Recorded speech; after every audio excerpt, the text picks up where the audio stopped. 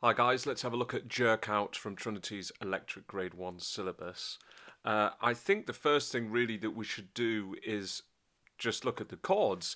There isn't really a lot. Uh, you're doing triads. You're focusing here on accuracy of strumming because all the chords that you're playing in the entire piece, let's just have a quick glance. Yep.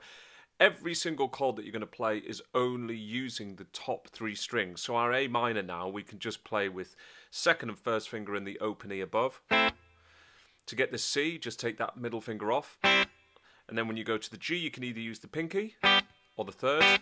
And when you come to the F, just make sure you get a nice clean bar chord, okay? So that first finger needs to be flat. Your thumb, instead of being all the way up here, will then come back round the neck, okay?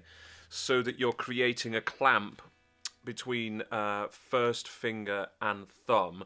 So it's nice and flat and therefore you don't need as much strength as you think you need. If that technique is right it's going to be easy. Um, just make sure that you're not pushing forward with the wrist because that will obviously then that hurt actually doing that uh, will uh, will push um, this knuckle up and will lift the finger. Just imagine that you're a doll that's totally totally just straight. The puppet master lifts the string up and you just come in. And you, your hand's naturally in that kind of shape, you see? So it's like kind of a dead spider with the fingers. And just keep it nice and relaxed. Don't push forward, don't grab up like this. Just nice and cool. Obviously, some chords, when we come to the C, like if you're doing a full C or full G, your thumb might come round further. If you're on an electric guitar with a thinner neck, if you're on something like a classical guitar, then really coming all the way around there um, would possibly be detrimental to your technique. Okay, so you just it's dependent on what you're playing uh, and the instrument you're playing it on. But those chords anyway, you've got your A minor, the C, G, and the F. Um, down in the chorus, you've got F major 7. Essentially, F major 7 in this instance is just A minor. It's the same shape, okay, because you're strumming, you're just avoiding the F. So instead of going F, A, C, open E, the uh, open E being the major 7th from that scale 1, 2, 3, 4, 5, 6, 7. So a major 7th is indicated by the little triangle um, there in bar, what is it, uh, 11B. Okay, so the F, triangle 7, means an F chord with a, the major 7th of the major scale added to it, which is the natural. But again, you just stay on that, and then it's A minor as well. G, back to the A minor. The only other thing really then to discuss is the breakdown and the rhythm. So overall, uh, let's just look at the breakdown first. So uh, what you're going to play is one, two, and three, four, and one, two, and three. Rest. One, two, and three, four, and one, two, and three. Rest. The rest is very important. You've got to make sure that you do it. A moment of silence in music is just as critical as something that is played.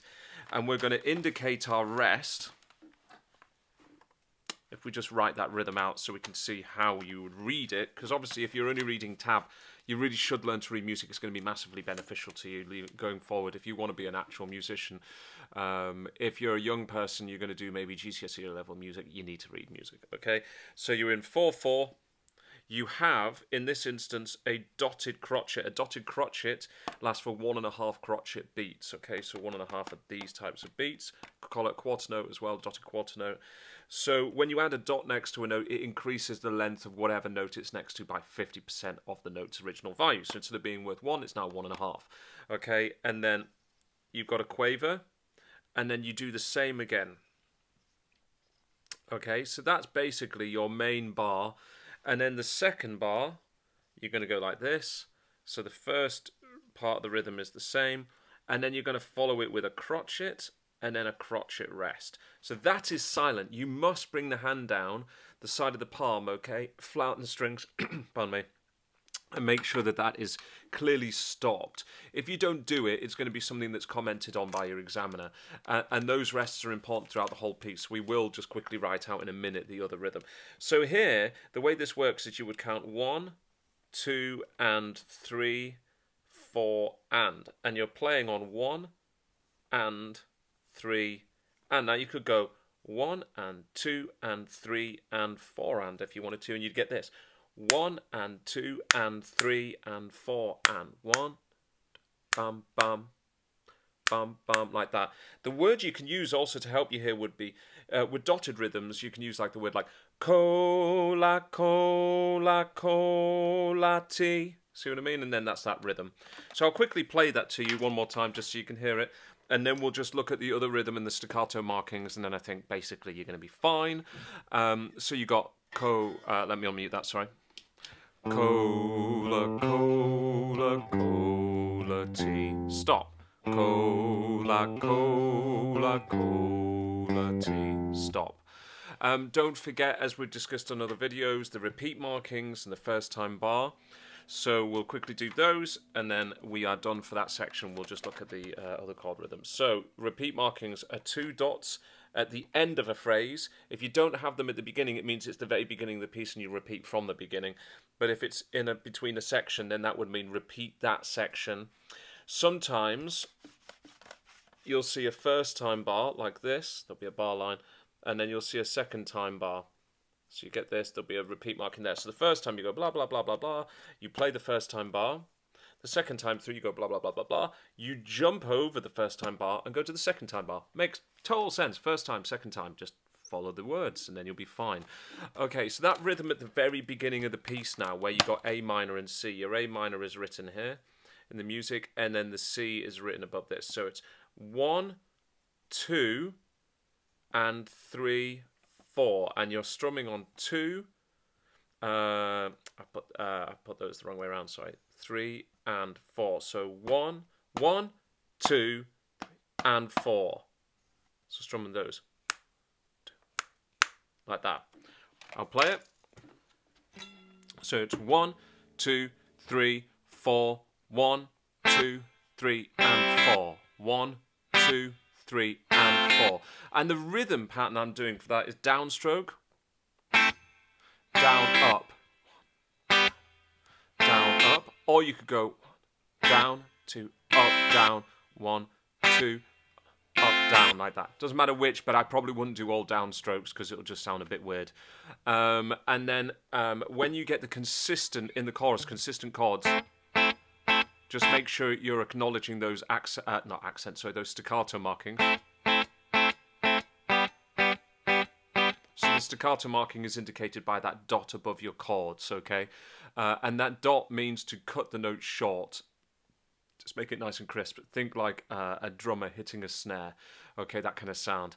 Um, so apart from that, everything else is really, really easy. Don't forget to acknowledge your dynamics. Okay, so um, it, it, starts off MF, which is which means mezzo forte, so moderately loud, and then when you get to the chorus, it's forte, so the F, that means loud you're going to continue through there and then in the breakdown you need to drop it in volume slightly back to mezzo forte and then back up to forte for the final chorus obviously if you're unsure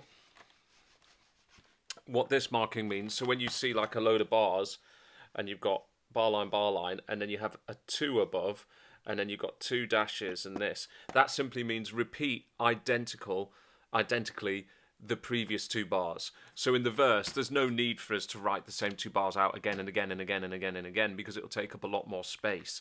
So we're just saying repeat those. Anyway, I think you've got enough information there to get on with that. So let's do the playthrough. Música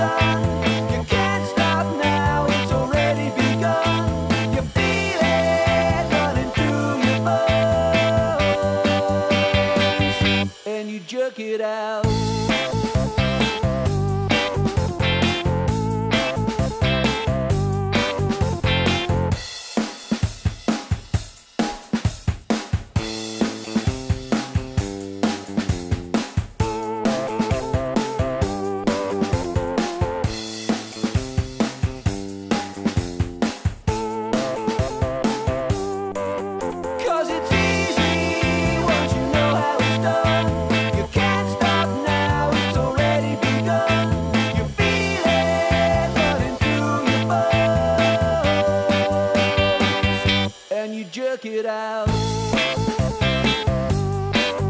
And you jerk it out.